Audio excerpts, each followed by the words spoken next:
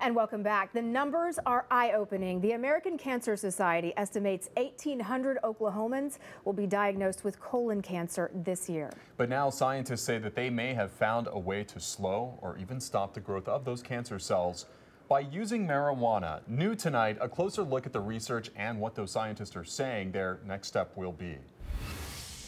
This was all done in a lab. In those test tubes are synthetic derivatives of medical marijuana and colon cancer cells.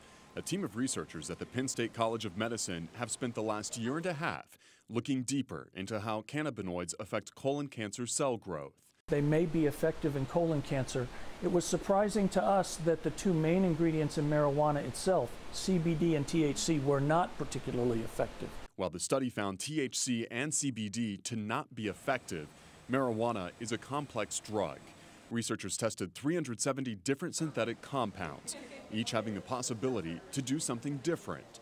10 of them stop cell growth of seven colorectal cancer cells.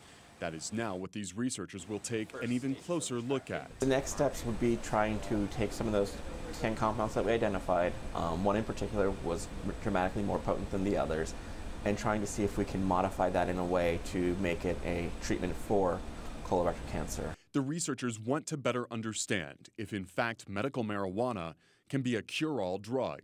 We need to figure out what that is, as opposed to these apocryphal stories we have that suggest that I have an aunt or a loved one who smoked marijuana and it cured a disease. We want to know what it is that's doing it and is it truly effective.